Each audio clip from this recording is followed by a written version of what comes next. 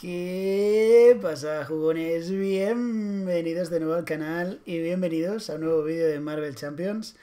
¿Qué os traigo hoy? Pues hoy os traigo uno de estos vídeos que sé que de vez en cuando os gusta que, suba al canal y bueno, y si no, pues me lo decís en la caja de comentarios y no hay ningún tipo de problema.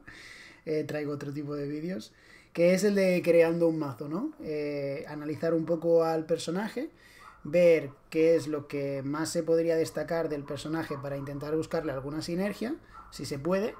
Y en función de eso, pues elegir un mazo, eh, bueno, elegir un aspecto y elegir las cartas que poner dentro de un mazo, ¿vale? Entonces voy a traer a Visión porque la verdad es que me parece muy interesante Visión y tiene muchas, muchas posibilidades. Eh, no voy a repetir un poco lo que dije en el unboxing, ¿no? Sino que a partir de la partida de prueba voy a destacar algunas cosas que, me gustaron mucho de, visión. Entonces, de todas las habilidades que tiene, yo diría que la más importante, eh, que tampoco creo que esté descubriendo nada, ¿no? Es la posibilidad de que cada vez, eh, una vez por ronda, mediante su acción de manipulación de la densidad, eh, visión se pueda, se pueda dar la vuelta ¿no? Eh, a la mejora de identidad de masa. Entonces eso significa que dispara pues, todas las cartas que se pueden jugar cuando cambias de, identidad. Entonces, eh, seleccionando, creo que esta mecánica puede ser, bajo mi punto de vista, la que más potencial tiene. El hecho de en cada ronda poderte cambiar voluntariamente de, de identidad nadie más lo tiene, ah, dejando de lado, pues lógicamente, eh, eh, bueno, pues Ant-Man y, y, Avispa. Lo que pasa es que ellos sí que gastan el cambio de identidad, esta no gasta porque es, porque es una acción. Entonces, em, y Spectrum, por ejemplo, depende de las cartas, ¿no? Que, que le deje cambiar entre, entre las distintas eh, identidades. Así que creo que a, ver si sacan más cartas, porque creo que son muy interesantes estas cartas de, que se pueden jugar cambiando la identidad. Entonces, analizando un poco las distintas cartas de cada uno de los aspectos que se pueden jugar solo cuando te das la vuelta, ¿no? Bueno, cuando cambias de identidad. Eh, digamos que hay algunas que quedan limitadas y hay otras que no quedan limitadas, ¿vale? Os dije que intentaría traer un mazo de agresividad con esa carta, pero luego me di cuenta que pensad que cuando está en intangible, Visión no puede atacar ni defenderse, ¿vale? Pensar que esto lo estuve, lo estuve mirando a raíz del, comentario de, un compi, que, la traducción no es correcta, no es que no pueda defenderse, sino que no puede defender. Por lo tanto, no puede jugar ni cartas que tengan la, la etiqueta esta de ataque, ¿no? Ni cartas que tengan la etiqueta de defensa. Por lo que esta carta de agresividad solo la podríamos jugar en un sentido, ¿no? Cuando nos diéramos la vuelta de intangible a denso. Pero en cambio, si quisiéramos darnos la vuelta de denso a intangible, pues no la podríamos jugar porque ya no podríamos jugar en respuesta al cambio de identidad una carta de ataque, ¿vale? Y lo mismo exactamente pasa con, por ejemplo, aplomo, que es la otra carta de liderazgo que se utiliza cuando te das la vuelta, ¿no? Cuando te dieras la vuelta intangible, bueno, pues sí que podrías intervenir con el más uno que recibirías, pero en cambio no, podrías atacar, ¿no? Digamos que sería una carta de un solo sentido, que es de intangible a denso y tendrías 3-3-3. Es otra posibilidad, la de liderazgo, pero bueno, digamos que están limitadas. En cambio, las otras dos, tanto la de protección como la de intervención, las veo muy interesantes porque ambas se pueden jugar. La de justicia porque es una intervención y visión sí que puede intervenir en intangible, por lo que una idea sería jugar esa carta ¿no? en, modo justicia, que cada, cada turno podrías, eh, cada turno que te tocara esa carta, lógicamente, te das la vuelta y la juegas para, para intervenir de 4, creo que era, jugándolo con un, con un recurso mental, ¿vale? Y la otra posibilidad es la de protección. Entonces, eh, ahora seguiremos comentando las otras cartas, ¿no? Pero digamos que entre las dos, entre digamos la sinergia más interesante que le encuentro, estarían eh, siguiendo esa línea, pues la, el, como mayores posibilidades, ¿no? El aspecto de justicia y el aspecto de protección. Entonces, viendo un poco lo que comentamos en el, unboxing, ¿no? Y lo que se vio también un poco en la partida de visión de prueba, no creo que Visión tenga demasiados problemas para intervenir, eh, al menos con sus cartas específicas. No tiene, es el único stat que tiene de base y hemos visto que en, tanto en intangible como en denso puede intervenir. Y además tiene hasta 5 cartas que intervienen. 5 de 10 son muchísimas cartas de intervención. O sea, es una barbaridad.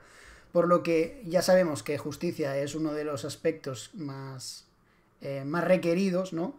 Y que sobre todo le van bien a personajes que no puedan intervenir bien. Por lo que yo sé que muchos de vosotros y de vosotras intentáis, pues, optimizar ¿no? la distribución de las cartas para darle las cartas a quien más las necesite. Pues visto esto, yo diría que aunque es una idea muy interesante, creo que Justicia no, lo necesita, eh, Visión. Entonces lo puede utilizar otro personaje que realmente tenga problemas para intervenir. Y además también viendo las cartas, el hecho también al mismo tiempo de tener 5 eh, ataques, ¿no? Tiene 5 intervenciones y 5 ataques. Eh, también lo comenté en el unboxing, o en la partida de prueba, no lo recuerdo pero tampoco parece que sea un personaje que sufra para poder pegar. O sea, tiene cinco cartas que en cualquier momento puede pegar buenos chicharros. Quiero decir, una pega de 7 y las otras dos pegan de 5. O sea que tampoco veo que, que al menos el, el, rasgo de agresividad sea necesario. Puede ser bueno, pero no es necesario. Entonces ya vemos cómo se va un poco dibujando la línea, ¿no?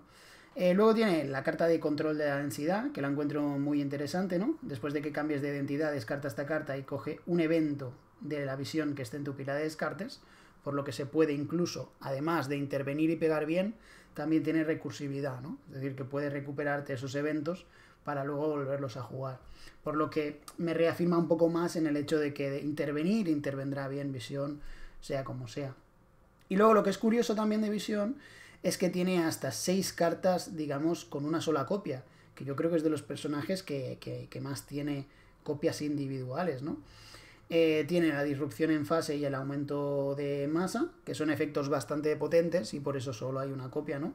Sobre todo la disrupción de fase me parece súper interesante, o sea, me parece una carta muy, muy divertida y entretenida de jugar.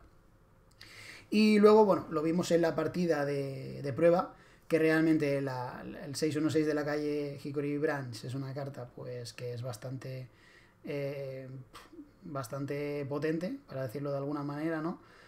Eh, se puede abusar mucho de ella y creo que también es una sinergia que hay que sí o sí aprovechar con visión. Es decir, no solo jugar con Vivian, ¿no? sino jugar con aliados androides que te los permite devolver y buscar en el mazo, las dos cosas, que es algo bastante, bastante absurdo. Y bueno, luego tenemos el típico recurso, que además es universal y nos da el rasgo aéreo, que esto también es importante, ¿no? La gema solar. Y la capa de la visión, que bueno, que nos da represalia o firmeza en función de, de, pues, de la densidad que tengamos, ¿no? Si somos intangibles o, o densos. Entonces una cosa muy interesante también de visión que hay que tener muy en cuenta es que cuando está en intangible, es cierto que el daño que sufre de cada fuente, que eso también es una barbaridad, el daño que sufre de cada fuente se reduce en dos, pero también es cierto que no puedes jugar cartas eh, con la etiqueta de defensa. Así que digamos, tienes que... Los ataques, los, de los esbirros, la mayoría, no superarán los dos de daño.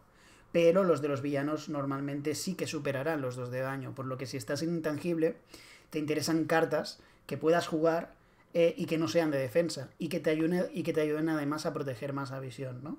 Eh, más que nada porque sí que es cierto que te reduce dos el daño, pero si te quedas sin intangible cuando le toca al villano, para entendernos te quedas un poco eh, en bolas, ¿no? Valga la redundancia, te quedas totalmente invisible, se te ve todo.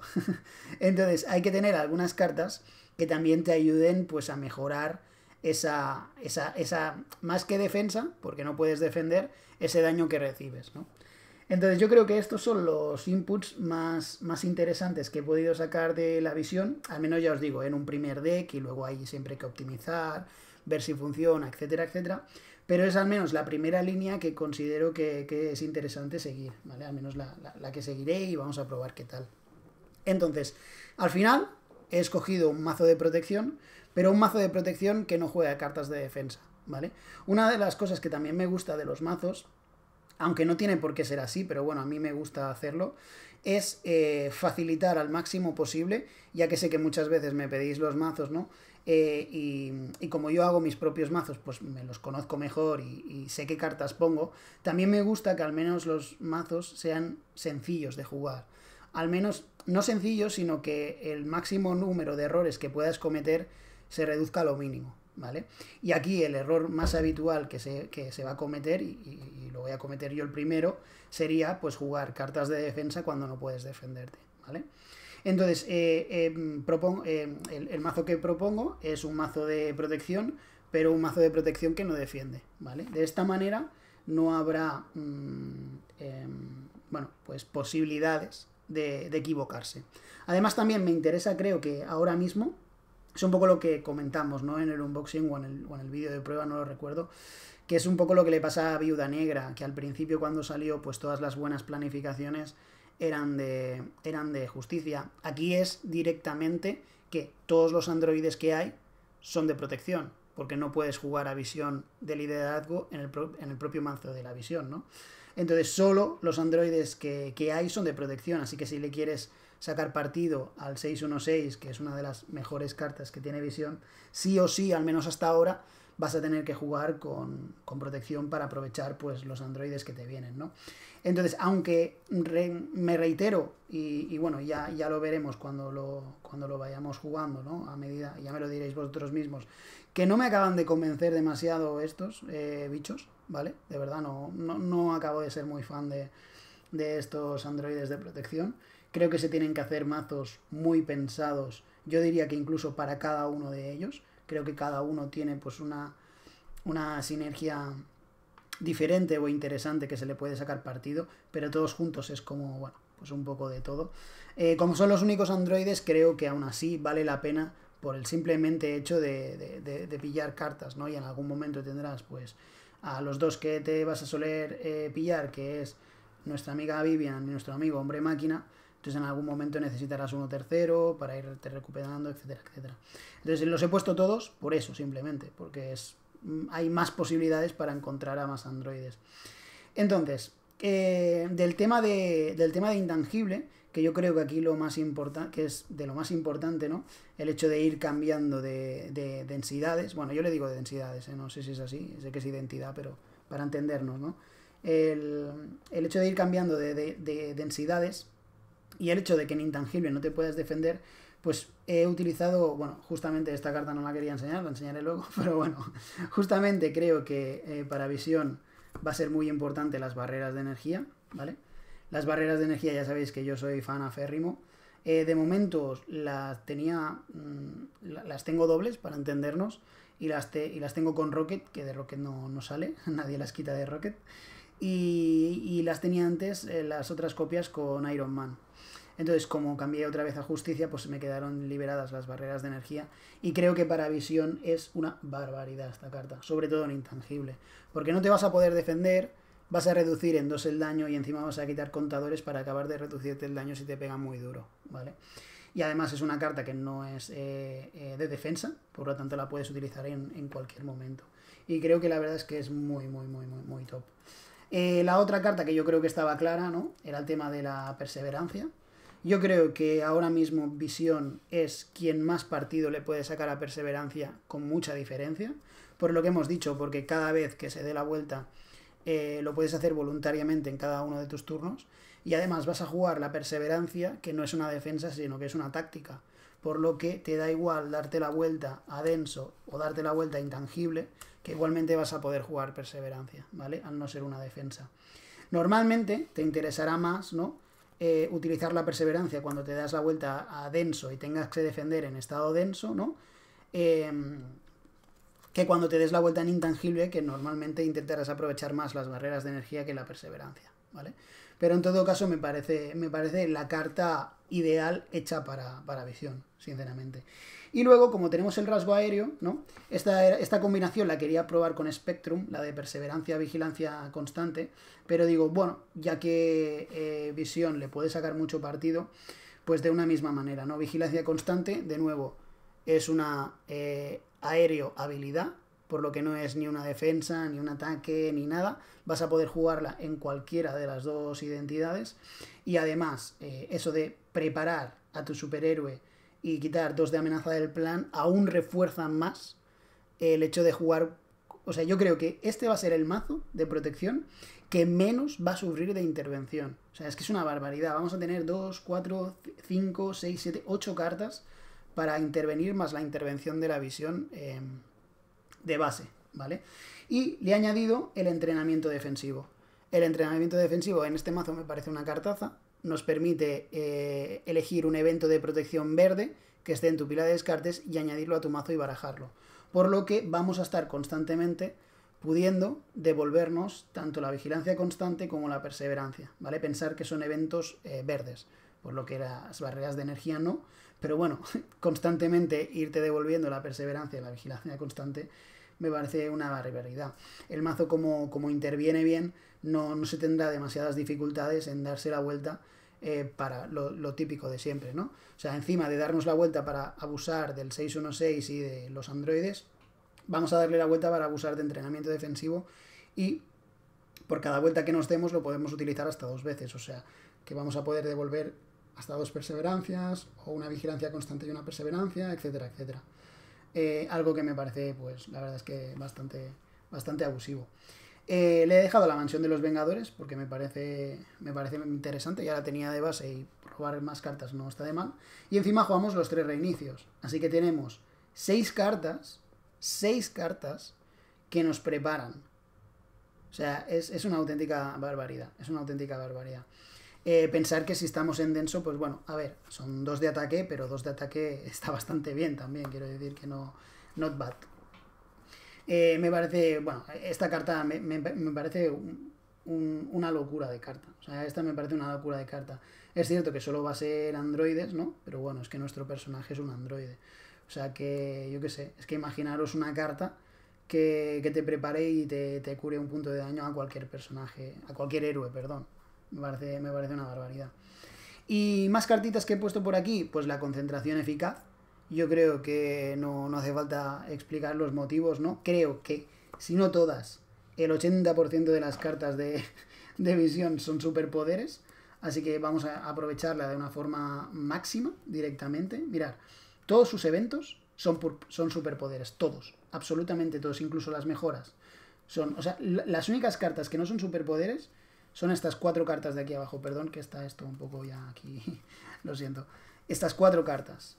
Estas cuatro cartas que además son, em, eh, bueno, me sale permanentes, ¿no? Cartas, digamos, que, que entran en mesa, eh, por lo que una vez que las bajes, normalmente menos Vivian, ¿no? Si la quieres ir jugando más veces, eh, no, no, la vas a tener que, no la vas a tener que volver a jugar, ¿no? Para intentar sacarle partido a concentración eficaz.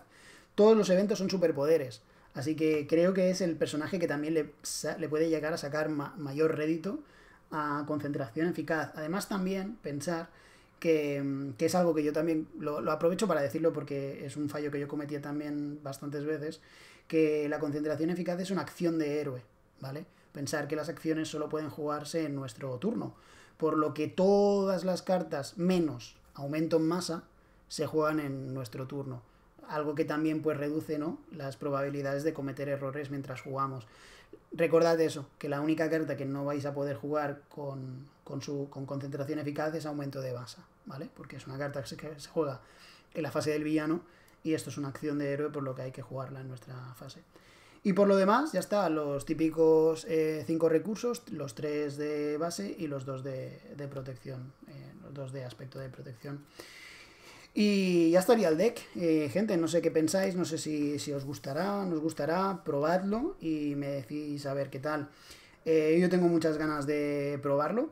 No sé si para no traer tantos vídeos consecutivos de visión, ¿no? el unboxing, la partida de prueba, el mejorando el mazo y una partida con visión seguramente eh, esta partida eh, la acabaré jugando en directo en Twitch, ¿vale? Un día ya avisaré por Twitter cuándo. Y el próximo vídeo que os traeré ya va a ser otro personaje con, jugando con, con uno de los mazos que aún me falta por subir, que lo hicimos en el directo de Twitch y hicimos ahí un montón de mazos que faltaban por subir. Así que nada, dejo el vídeo por aquí, espero que os haya gustado, os mando un besato, un abrazuco y hasta luego, chao chao, Crux.